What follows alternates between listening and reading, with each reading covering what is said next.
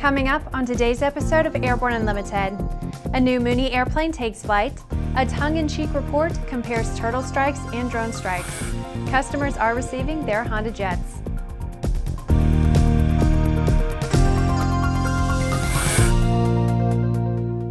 I'm Brie Cross. It's December 28, 2015, and this is Airborne Unlimited.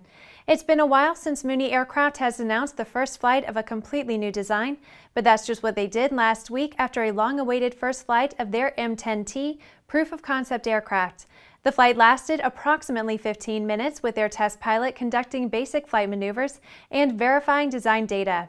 The M10T, announced in 2014, is Mooney International Corporation's new design carbon fiber, three seat, fixed gear aircraft. Powered by the Continental Technify CD135 Jet A engine, the M10 is a new generation aircraft designed by Mooney specifically for flight training operations. The M10T will continue testing as the program works towards certification in the next few years. In a report meant to be funny and yet point out that the federal government may be overreacting to the potential for accidents involving UAVs, a researcher dug into the FAA's wildlife strike database and found that there have been 198 confirmed turtle strikes by airplanes between January 1, 1990 and July 31, 2015. That compares to zero confirmed collisions between airplanes and UAVs, though the reports of near collision and other incidents has been rising sharply. Still, it's obvious that turtles have been around a lot longer than UAVs, and while it is pretty much a given that a turtle would not collide with an airplane while in flight, UAVs sharing airspace with manned aircraft make a collision between those aircraft a much more likely scenario, and the results would be far worse for the airplane that is.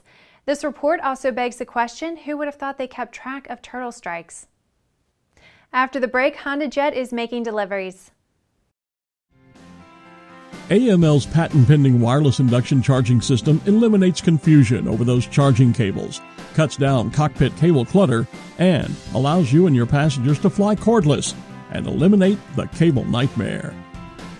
www.aviationmodificationleaders.com the KSN 770 is an affordable, WAAS enabled integrated MFD with a flexible hybrid user interface from Bendix King.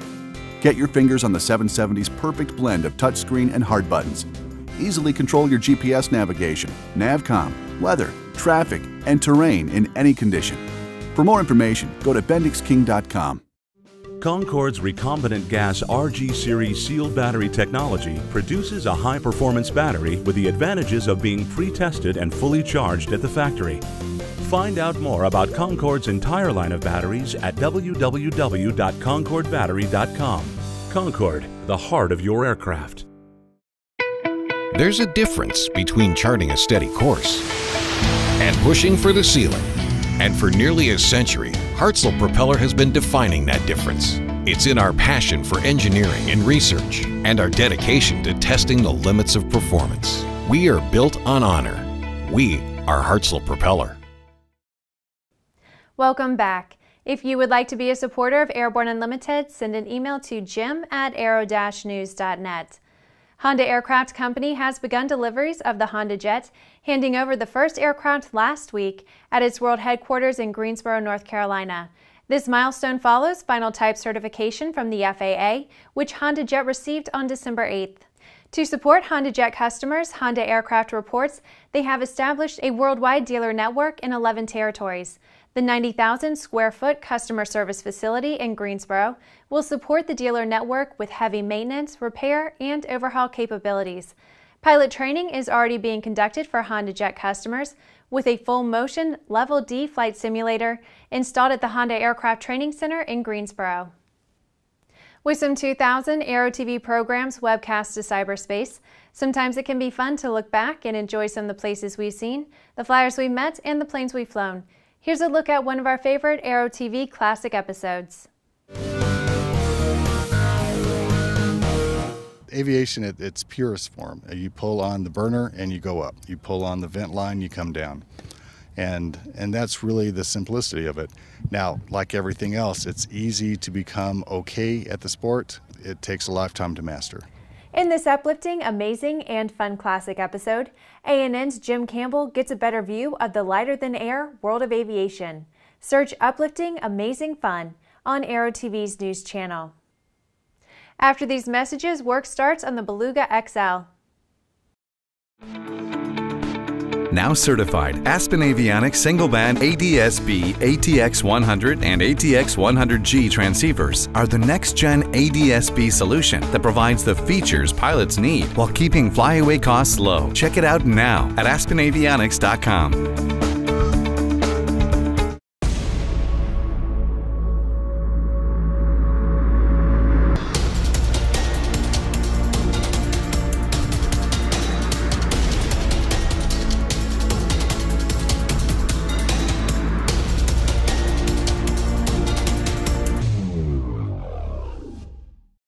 Redbird Flight Simulations is dedicated to revolutionizing flight training by designing, manufacturing, and delivering affordable and innovative flight training technologies. Each Redbird device is designed to enhance the training experience for pilots of all levels, from student to ATP. Redbird is quickly becoming the industry standard for flight training. Since Redbird introduced its revolutionary FMX in 2007, colleges, universities, and flight training operations around the world have integrated Redbird products into their curriculum. It's time to discover what Redbird can do for you. Join the migration. Sandia introduces the new SAI 340 Quattro TSO'd airspeed, attitude, altitude, and slip. With integral backup battery, safety never looked so good. See it now at www.sandia.aero. Welcome back. With so much news coming out of the aviation industry, we're summarizing some other interesting stories in a brief segment we call Around the Patch.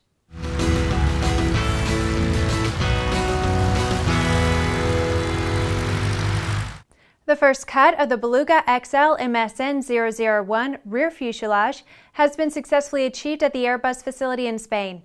Final assembly is expected to begin in early 2017. The Beluga XL entry into service is planned in mid 2019. iFlight Planner has announced that the company will be fully supporting the Bad Elf ADS-B receivers at product launch. Bad Elf has introduced their affordable ADS-B weather and traffic receivers with support from Kickstarter, and iFlight Planner is on board.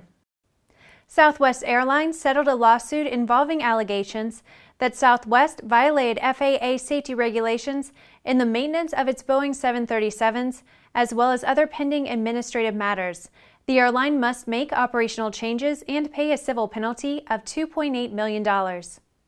Air Canada and the International Association of Machinists and Aerospace Workers have reached a new agreement subject to ratification on collective agreement terms for 10 years. The union represents 7,500 Air Canada employees. Well, that's our trip around the patch. Now let's move on to the rest of the news. Another single-engine turboprop airplane takes its first step to the market as the Epic E1000 prototype FT1 made its first flight earlier this month. Upon completion of the scheduled 20-minute flight, Epic Chief Pilot David Robinson reported, quote, the aircraft handled extremely well and performed just as expected, end quote. FT1 testing will continue over the next several months, assessing general handling qualities, operational performance, system operations in normal mode, failure scenarios, extreme conditions, and flight into known icing regulations. The second and final flight test article is scheduled to launch this spring and will reflect as closely as possible the E1000 production aircraft, both in equipment and manufacturing process. The company has announced a planned price of almost $3 million fully equipped, and its all-composite airframe is powered by the 1200 horsepower Pratt & Whitney PT-6A 67A turbine engine. The company is predicting cruise speeds of over 325 knots true, with a range of 1,650 nautical miles and an authorized ceiling of 34,000 feet. Well, that's our program for today. Remember to get comprehensive real-time 24-7 coverage of the latest aviation and aerospace stories anytime at aero-news.net. Remember that Airborne Unlimited is streamed daily Monday through Friday with additional breaking news bulletins for important stories that fell outside of our normal deadlines. Please join us and a growing roster of over 100 outstanding industry associations and organizations every weekday for the best in aviation and aerospace news from the staff of the Aero News Network, the aviation world's most comprehensive news and information resource.